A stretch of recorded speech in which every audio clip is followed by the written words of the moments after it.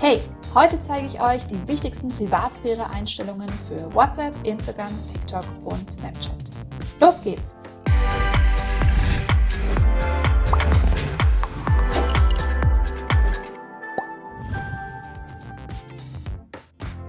In WhatsApp könnt ihr eure Privatsphäre einstellen, indem ihr oben auf die drei Punkte geht, dann auf Einstellungen geht und dann auf eure Account-Einstellungen. Hier klickt ihr noch auf Datenschutz und los geht's. Zunächst einmal muss nicht jeder, der eure Handynummer hat, ja direkt wissen, ob ihr online seid. Das könnt ihr also auf meine Kontakte umstellen.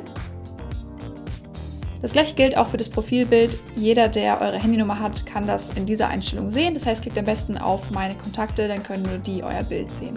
Diese kleine Info kennt ihr vielleicht, da haben die meisten nur sowas drinstehen wie ich nutze WhatsApp, aber auch da könnt ihr einstellen, wer das alles sehen kann.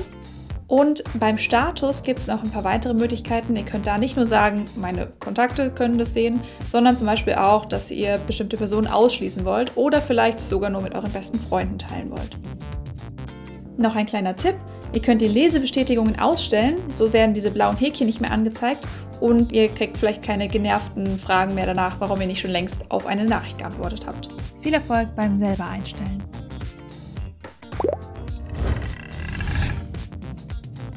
Um eure Privatsphäre in Instagram einzustellen, geht ihr auf euer Profil, dann oben auf die drei Striche und dann auf Einstellungen.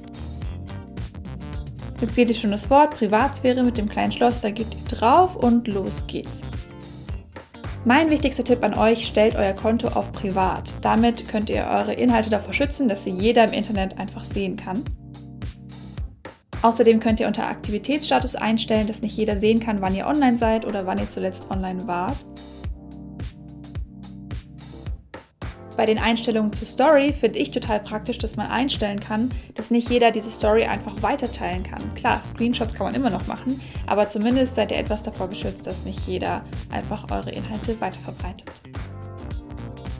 Vielleicht ist es euch auch schon mal passiert, dass ihr irgendwo markiert wurdet, wo ihr gar nicht markiert werden wolltet. Hier könnt ihr einstellen, dass es nicht automatisch hinzugefügt wird, sondern ihr erst gefragt werdet, ob ihr diese Markierung überhaupt haben wollt.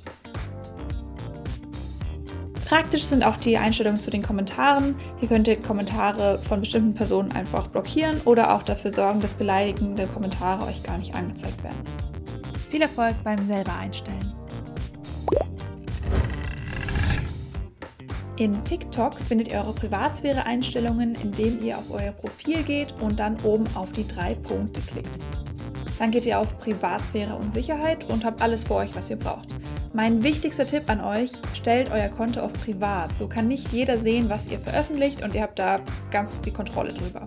Außerdem könnt ihr auch entscheiden, dass nicht andere euch einfach finden können, dann schlägt TikTok euch nicht anderen vor. Ihr könnt auch entscheiden, wer Kommentare zu euren Veröffentlichungen schreiben darf. Und ihr könnt auch verschiedene Einstellungen machen, die nur dann Sinn machen, wenn ihr ein öffentliches Konto habt. Zum Beispiel könnt ihr sagen, dass nicht jeder auf euch reagieren kann oder auch, dass nicht jeder ein Duett mit euch aufführen kann. Noch ein letzter Tipp. Ihr könnt Kommentare auch filtern. Nutzt diese Möglichkeit, wenn ihr immer wieder Kommentare zu Themen kommt, die ihr eigentlich nicht haben wollt. Viel Erfolg beim selber einstellen. In Snapchat findet ihr die Einstellungen unter dem Zahnrad oben rechts. Dort scrollt ihr runter, bis ihr zu dem Überpunkt Wer kann Punkt, Punkt kommt. Schauen wir uns die drei wichtigsten einmal an. Wer kann euch kontaktieren? Wer kann eure Stories anschauen? Und ganz wichtig, weder eure Freunde, Bekannte noch Fremde sollten ständig sehen können, wo ihr unterwegs seid. Das kann schließlich auch gefährlich werden. Nutzt lieber den Geistmodus, um den Standort auf der Karte zu verbergen. Viel Erfolg beim selber einstellen.